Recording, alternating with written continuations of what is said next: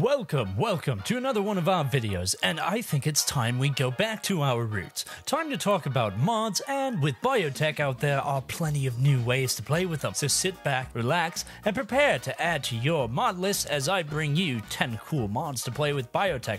And of course, you'll find links to all of them in the description down below. Though I suppose we should have an honorable mention for the list. Vanilla Expanded. We've said it before, we will say it again. Vanilla Expanded is one of the greatest lists of mods for RimWorld, though two stands out for biotech. One, the race is expanded, which use the biotech genes as of writing this script that only have the Saurids race, but I'm sure there will be new unique races on the workshop from Oscar and his team soon enough. Two, the outpost expanded. With biotech, you can have kids, you can also have them do work, so why not send them to work in an outpost and profit off them? Some places call that child labor. We call it a summer camp experience. Alright, enough with the honorable mention. Bren, bring out the first mod. Speaking of kids, there's a good reason to have kids be kids. It lets them learn and potentially become great adults, but perhaps you don't want to spend in game years waiting for kids to grow up to finally get that crafter of your dreams.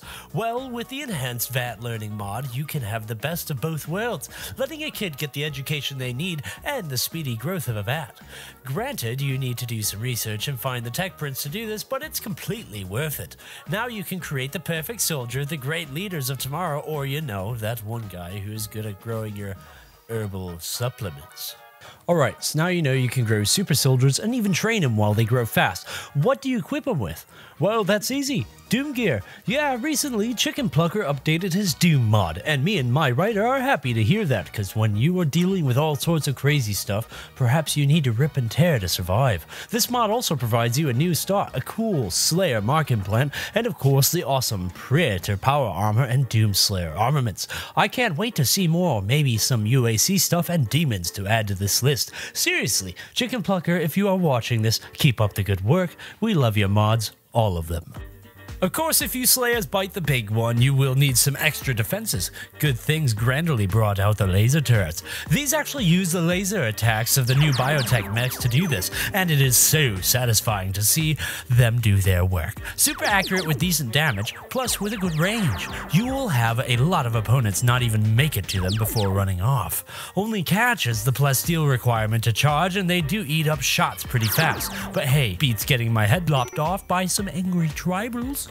Alrighty, so let's say you may have accepted a bit too many dumping stockpile requests. Yeah, that might be a problem, especially since airdropping them out to another tile doesn't get rid of the pollution problem. I'm glad this mod was made because while I like the atomizer, it's a bit too slow sometimes. It's a simple quality of life mod that doubles the build cost and triples the power use. All that for 10 times the work speed and 5 times the capacity. I don't think it breaks the game and it's easily a good mod for mechanitor playthroughs. So we should talk about a race mod because it's not just Oscar and his team making races for 1.4. No, we got Pureblood Xenotype. By Pureblood, we are talking about the pureblood species of Sith. This refers to the redskin species that lived on the planet Korriban. These Sith are your choice for psychic casters, getting a genetic boost to their sensitivity. This on top of their boost to melee weapons. Well, need I say more about these psychics? I do like them, though their hyper-aggressive selves might be a problem in future colonies. But hey, that's a problem for future Definitely a great additional race to mix up your colony, and while you are at it, check out their other Star Wars mod. Funny thing, while writing this script, they just released the Vibroblade mod. Be a good weapon for these melee users, just saying. Alright, so say you want to constantly extract genes from really good xenotypes like Xenophage. It's kind of annoying to always repeatedly put your pawns in there, especially prisoners. But good news, with auto extract genes, you just go to the health tab, hit that checkbox off the auto extract, and let the game do it for you. They will automatically put pawns into the extractor if they can safely do it. Honestly surprised this wasn't incorporated into the base game, but who knows. Maybe in an update this will be a permanent feature. Definitely download this mod if you plan to use biotech. So, something I found out, my vampire can't become speed.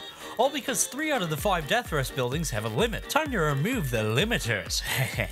Way I see it, if you have the resources, why not turn your vampire into Alucard and wreck house? Download this mod if you plan to go on a bloody rampage or you know, prepare yourselves for his arrival. So let's say you don't want to have your children grow up in a tomb. You will need to protect them from all the raiders, insects, door-to-door salesmen out on the rim. Well, look no further to the junior marine armor. Now little Timmy can do his part in the colony and looking pretty good at that. Seriously though, Power armor for children is a pretty good idea, especially since base biotech doesn't have anything on that level for children, so keeping them safe when things get hairy can get hard. Now with this armor, their survivability goes up and you have one less headache. Plus, hey, they do give boosts to learning rates, making it even more useful. Interestingly enough, this is the mod creator's first mod, and for a first, yeah, we will watch your career with great interest. When this video is over, go over and tell him we sent you and give him support. Alright, how about a cool faction mod? The Halo UNSC faction. Like Oscar and his team, who worked on to make the Mass Effect fit vanilla RimWorld, this mod aims to do the same with Halo UNSC.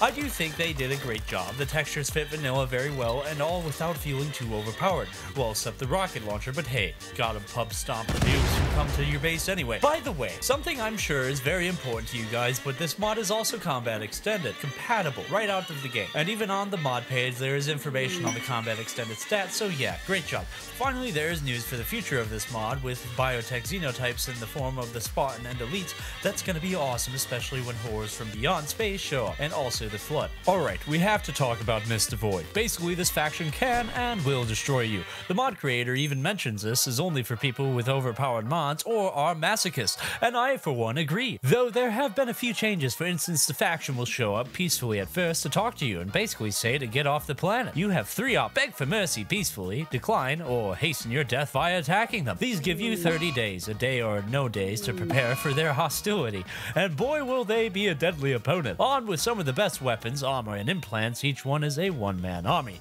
Not to mention their, uh, their, um, pets. Yeah. Oh god, they're pets. The Emperor won't be protecting you if you face them. But why? Why would they do all this? Well, my writer actually went to Chicken Plucker to get his insight, and here's what he said. Void is a parody of the RimWorld player. They start off as the underdogs, the survivors. They fight enemies that are way beyond their league, and eventually they start catching up with technology and power until they become the cold-hearted and cruel monster they set out to destroy. Alrighty, I'm not gonna lie, that's pretty much describing most players to a T, so what else does this mod do? Well, on top of the faction actually talking to you, supposedly, it's possible to join the faction. We don't know how. I assume it involves surviving impossible odds and maybe a lot of experimentation, but hey, maybe it's nice to be part of the winning team for once. There's even an event where someone wants to defect. Just keep in mind they are chased by voids, so there's biz grist for this reward right there. What do I recommend to beating them? beating them? Honestly, the only way you can win is having an overpowered mod list, and even then, Void might wreck you before you even get that off the ground. I recommend this mod only for those with super mods, great knowledge of the game, or just hate themselves. But if I'm honest, I'm glad there will always be mods out there to kick your teeth in. Makes it so much more satisfying when we dominate. Well, on that, I think that's a good list of mods. Might have to wait a bit before the next list, but during that time, hit us up with great suggestions. I already have a few ideas for the future, but sometimes we need to wait for things to cook. In the meantime, I got to prepare my defenses for the horror. Oh, Randy above, they already arrived.